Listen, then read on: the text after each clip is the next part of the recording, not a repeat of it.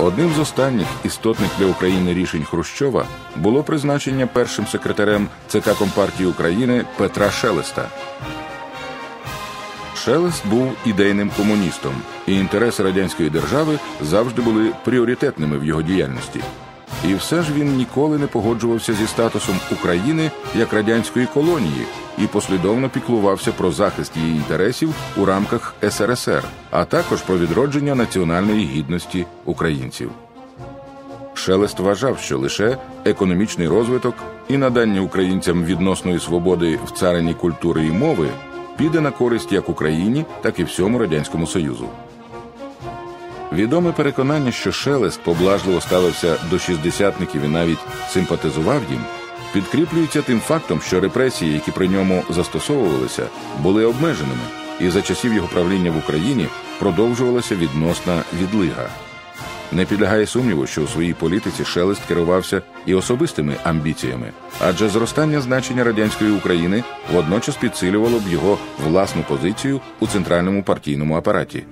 Арешти і процеси молодої інтелігенції у 60-ті роки були реакцією влад на активізацію діяльності шістдесятників. Влада не могла миритися з самвидавом, як і з контактами з українською діаспорою в Західній Європі, Сполучених Штатах, у Канаді.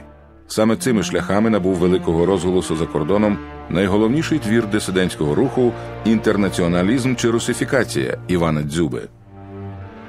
Автор, спираючись на праці Маркса, Енгельса та Леніна, проаналізував русифікаторську практику в Україні і закликав партію повернутися до ленінської національної політики.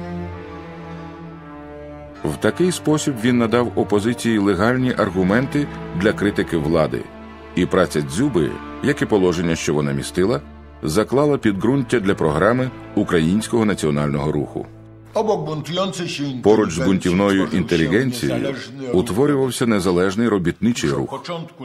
Уже з початку 60-х років у багатьох містах, як східної, так і західної України, регулярно вибухали страйки.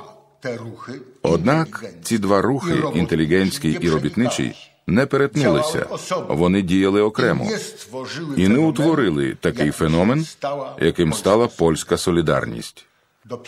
Лише 30 років по тому, коли обидві ці течії поєднаються, вони перетворяться на силу, яка вплине на долю усього радянського союзу.